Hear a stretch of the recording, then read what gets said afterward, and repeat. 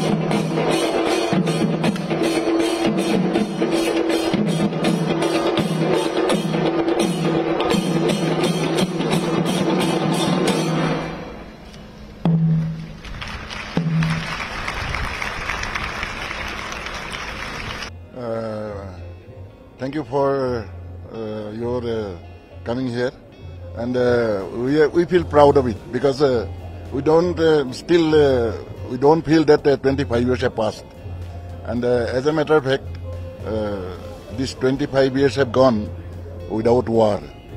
Okay, and we feel that people those who have martyred for the country, they are great, they are brave, and they, they are the people, those who have sacrificed their lives for our tomorrow. We, we still feel proud that I have come from Golaghat, Assam, and I still feel proud for my son, Captain Jintu Veer Chakra. Uh, war is always a challenging one because uh, I have uh, seen uh, 1962 Chinese aggression, 65 Pakistan war, 71 again Bangladesh liberation.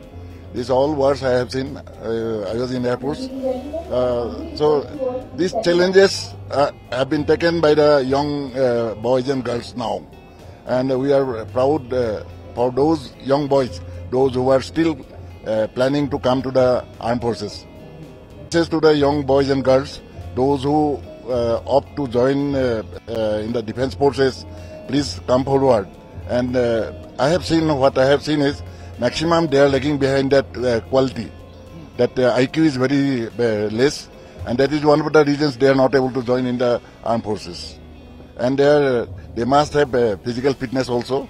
And uh, I convey my sincere thanks all the young boys, those who uh, plans to join in the defense forces. Welcome to them. Jintu को तो मैं ढोन बोलती हूँ ढोन वो बहुत प्यार मेरा बहुत बहुत प्यार करती हूँ एक ही लड़का था मेरा नाम श्री दुलू प्रभा गगৈ और बेटा का नाम कैप्टन जिंटू गगৈ लड़का तो एक ही था लड़का को खो दिया फिर अभी दुखी नहीं हुआ क्योंकि देश के लिए तो प्राण आहुति दिया कुर्बानी दिया इसीलिए दुखी नहीं हूँ दुखी होता हूँ तो वो तो देश को रक्षा के लिए तो प्राण आहुति दिया बेटा तो देश के देश के लिए प्राण आहुति दिया बहुत अच्छा काम किया, क्योंकि देश को रक्षा किया। इसीलिए वो मेरे को दुख लगा तो तो बहुत खुशी हूँ क्योंकि देश को सबको अभी रक्षा किया ना उसी वजह दुखी तो बहुत होता हूँ बेटा, क्योंकि एक ही बेटा था। फिर वो तो देश के लिए प्राण आहुति दे दिया, उसके लिए बहुत खुशी हूँ, क्योंकि देश को रक्षा किया। माँ पापा हम लोग को छोड़ पूरा देश के लिए तो सोच रहा था। उसी वजह से हम लोग खुश हैं। धन्यवाद। सबसे पहले तो रजत जयंती में मैं सभी वीर योद्धाओं को, रणबांकुरों को नमन करता हूँ। उनके परिवारों को भी नमन करता हूँ। अभी आप व्यू पॉइंट पे खड़े हैं। आप देखिए, दरास बाउल नीचे पूरी तरह से दिख रहा है। और जो सामने पहाड़ियाँ हैं, जिसके ऊपर दुश्मन ने कब्जा कर लिया था, और जितनी भी ऊँची पहाड़ी अगर मैं दाएँ से शुरू करूँ तो आप देखिए ये तोलोलिंग की पहाड़ी है जो तिकोना आपको दिख रहा है। और सबसे ऊँची पहाड़ी ये point five one four zero है और इसके बीच में हम्प का इलाका है। क्योंकि 18 ग्रेनेडियर्स ने ये तोलोलिंग और हम्प के इलाके पे कब्जा किया था। अगर हम इस तरह से अगर आप आ जाइए आप देखिए जो ब्राउन पैच है, ये तीन पिंपल का एरिया का इलाका है। और इस तरह जो आप देखिए, जो सबसे ऊँची पहाड़ी है, ये टाइगर हिल यहाँ से दिख रहा है, जो कि सबसे ऊँची पहाड़ी है, सतारह हज़ार फीट की हाइट पे है। और उसी के साथ जो 4875 सबसे बाएँ वाली पहाड़ी, जिसको बतरा टॉप भी कहा जाता है और 13 जैकरिफ ने इसके ऊपर विजय हासिल की थी।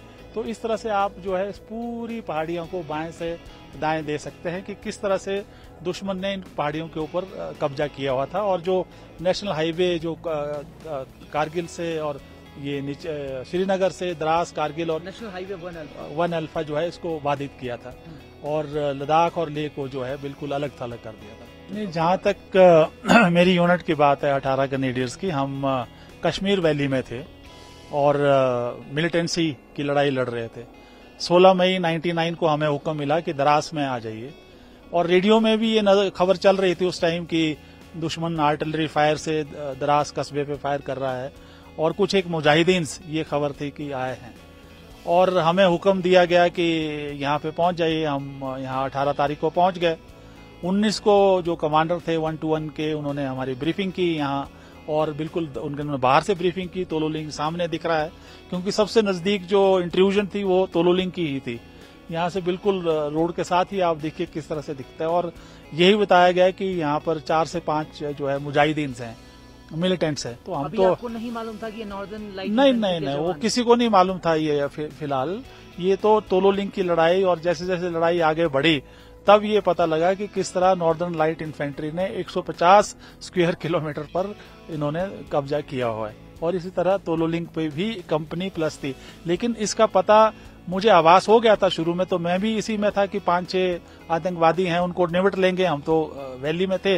लेकिन जैसे जैसे स्पर के अलॉन्ग अप्रोच से हम बढ़े, कि automatic fire machine gun fire उसका स्नाइपर उसकी आर्टिलरी और यहाँ तक कि उन्होंने मी सेवनटीन का जो हेलीकॉप्टर था आपने देखा आज उनकी पत्नी भी थी स्क्वाडन लीडर पंडूर, पुंडीर की, वो यहीं अपने चार क्रू के साथ, अट्ठाईस को जो है वो स्टिंगर मिसाइल जो है उनके एयरक्राफ्ट पे लगा, यहीं शहीद हुआ।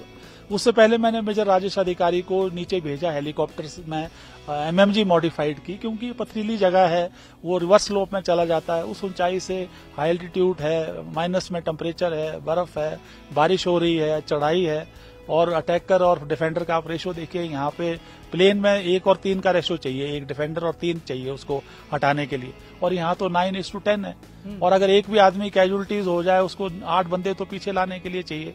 और यहाँ कोई रास्ते नहीं है कोई छुपाव नहीं है घास का कोई तिनका नहीं है। और लॉजिस्टिक प्रॉब्लम आप देखिए कि दिन को आप आ ही नहीं सकते हिल ही नहीं सकते स्नाइपर राइफल उसका एक्यूरेट है। तो हम तो 22 दिन तो नहाए नहीं ना कुछ किया और अलोंग दिस पर्क जो है उस दिन सर नहीं रात रात रात दिन कोई शेव नहीं कुछ नहीं। मैं नहीं पूरे जवान हम्म। पूरे जवान। और बर्फ़ को पिघला के पीते थे। लेकिन हाँ तोलोलिंग के बाद सारे वाइज हो गए कि नहीं ये it is something more than the intrusion by the उसके बाद अलग उत्साह आ गया था। उसके बाद नेचुरली क्योंकि पूरी लड़ाई में एक टर्निंग पॉइंट हो गया क्योंकि उस टाइम मीडिया का जमाना है। पूरा देशवासी देख रहे हैं देश देख रहे हैं कि भाई इतना समय क्यों लग रहा है?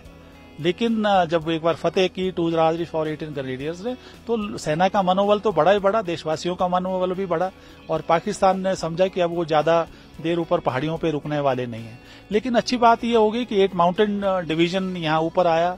फ़र्स्ट जून 99 से उन्होंने ऑपरेशनल रिस्पॉन्सिबिलिटी ली और जनरल महेंद्र पुरी जब मैंने कर्नल राजेश मेजर राजेश अधिकारी को और कर्नल विश्वनाथन को खोया, उन्होंने बात की कि नहीं, अभी आप फर्म बेस प्रोवाइड करिए टू राजीव को और हम पूरी तैयारी करेंगे। और पाँच जून तक जो बोफर्स भी आई और 10 दिन लगातार वॉफर्स फायर करते रहे, जो ब्रिगेडियर लखविंदर सिंह और ब्रिगेडियर ए एन ऑयल तो उसके बाद तो सबसे मुश्किल लड़ाई मेरे लिए जो थी, वो तोलो लिंक थी 22 दिन, रात दिन। और मैं सिर्फ़ उन जवानों को सलाम करना चाहता हूँ जेसीओ को ऑफिसर्स को, जिन्होंने शहादत दी और जो घायल हुए, और जिन्होंने वो डटे रहे और पीछे नहीं हटे। नहीं, देखिए बोफोर्स ने बहुत काम इनडायरेक्ट फायर तो करता ही है, पर डायरेक्ट हिट भी किया है। तोलोलिंग में मैंने बताया ना, दस दिन कंटिन्यूसली डायरेक्ट फायर दराज से फायर करते रहे। मैं तो आपको टाइगर हिल के बताऊँगा। मेरे साथ जो आर्टिलरी के अफसर थे, उस टाइम मेजर बेवली। और एक हालात ऐसी आ गई कि हमारा ऊपर टॉप पे रहना बहुत मुश्किल हो रहा था, क्योंकि उसके काउंटर अटैक पे काउंटर अटैक आ रहे थे। और जो लेफ्टिनेंट बलवान था उन्होंने मुझसे कहा कि आप आर्टिलरी फायर करिए नहीं तो बहुत मुश्किल हो रहा था। और उस टाइम देखिए सेफ्टी फायर होता है हाँ बिल्कुल क्यों नहीं मदद मिलती? उनका हौसला ऊपर जाता है टारगेट के ऊपर क्षति होती है न्यूट्रलाइज किया जाता है वहाँ पे और नुकसान होता है दुश्मन का। चाहे वो आर्टिलरी का फायर हो चाहे एयरफोर्स का फायर हो या चाहे मल्टी बैरल रॉकेट लॉन्चर्स का फायर हो उसे बहुत फ़ायदा मिलता है। बिल्कुल रकत से लाल हो चुकी है और जब तक हम यहाँ थे तो लगता था साथ ही हैं, हालाँकि वो नहीं थे, लेकिन जब यहाँ से हम चले गए तो ऐसा लगता है कि जैसे कि पूरा सीना किसी ने यू नो निचोड़ दिया हो। और आज भी वो यादें हैं, पर अच्छी बात यह है कि आज उनका परिवार, उनके बच्चे उभर गए हैं, अपने पैरों पर खड़े हैं। और कई तो सेना में वापस आ गए। आप देखिए क्या जोश और जनून और क्या सोच है। और दो चीज़ें हैं। एक तो प्रोफेशनल है कमांडिंग अधिकारी के तौर पे जो फ़र्ज़ है उसमें इमोशंस नहीं चलते, वो आपको करना पड़ता है। लेकिन कहीं ना कहीं दिल के अंदर आप हो तो इंसान ही। तो जैसा आपने कहा पॉलिटिकली तो मैं तो ये कहूँगा कि एक ये पॉलिटिकल और मिलिट्री विक्ट्री भी है कि अच्छा निर्णय था ताकि पूरे ना इन्वॉल्व फुल फ्लैश ना करके। लेवल पे ठीक है सेना तैयार रहनी चाहिए वो जोश भी होना चाहिए। सेना को तैयार थी और बिल्कुल तैयार थी। लेकिन हायर लेवल पे उनका जो दृष्टिकोण है, उनका अलग है। और अब हैंड साइट में लगता है कि जो दृष्टिकोण सरकार का था, वो बिल्कुल ठीक था कि इसको इंटरनेशनलाइज करने की ज़रूरत नहीं थी। क्योंकि ऐसा करने से पाकिस्तान को बहुत, क्या बोले, उनका बहुत अपमान हुआ पूरे देशों में। और उसको एक अग्रेसर के तौर पे देखा गया, एक टेररिस्ट कंट्री के तौर पे आपने पूरे विश्व में उसको अलग थलग कर दिया। तो ये एक बहुत बड़ी जीत है।